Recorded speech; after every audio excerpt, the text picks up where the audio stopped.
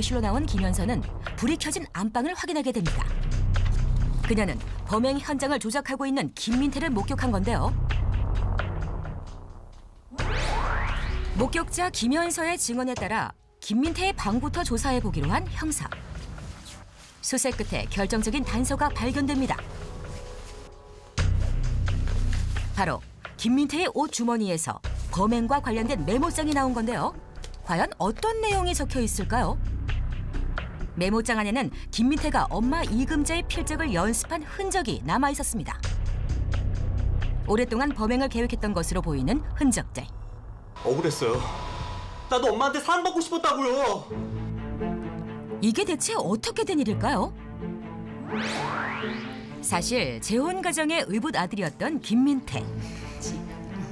엄마, 아빠 며칠 뒤에 기일 아니야? 용케도 기억하네. 아유 기특해라. 기일 같이 준비하자.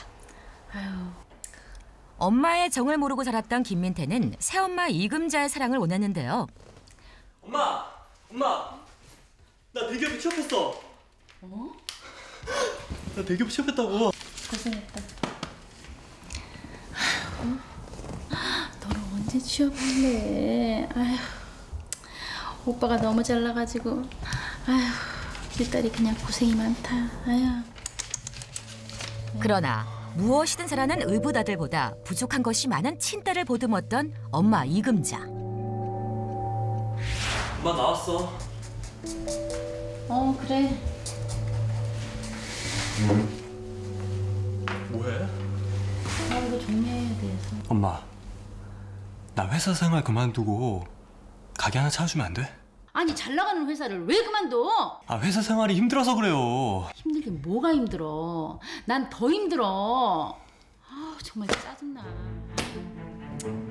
의붓 아들이 고민을 이야기하지만 퉁명스러운 엄마 이금자. 알고 보니 네? 이번 달 실적도 꼴찌야 꼴찌 도대체 몇 달째야 죄송합니다. 열심히 하겠습니다. 그거 죄송한 거 알면 똑바로 좀 해요 똑바로 회사 실적을 올리려고 빚을 진 김민태. 이게 다야? 시간이 지날수록 빚은 늘어만 갔는데요. 그러던 중 김민태는 가계부를 쓰던 엄마의 통장 내역을 확인하게 된 겁니다. 생각보다 많은 엄마의 통장 잔고에 놀란 김민태. 김민태가 범행을 계획한 동기는 여기에 있었는데요. 보험 수혜자와 재산 상속자의 명의가 친딸 김현수로 지정되어 있었던 겁니다. 엄마, 진짜? 어, 엄마 진짜 카페 차려주는 거지? 카페 차려줄 테니까 대신 잘해야 돼. 당연하지. 아유 우리 딸 얼마나 이뻐라. 잘하는데. 그래 그래. 그리고 동생 김현서에게는 카페를 차려주겠다고 약속하는 엄마를 보고 자신은 버림을 받았다고 생각한 김민태. 결국 범행을 결심하고 수면제를 모았는데요. 사건 당일 엄마가 퇴근 후 씻으러 간 틈을 타 계획했던 인면 수신 범행을 실행합니다. 평소 엄마가 즐겨 마시는 음료수에 수면제를 탄 김민태.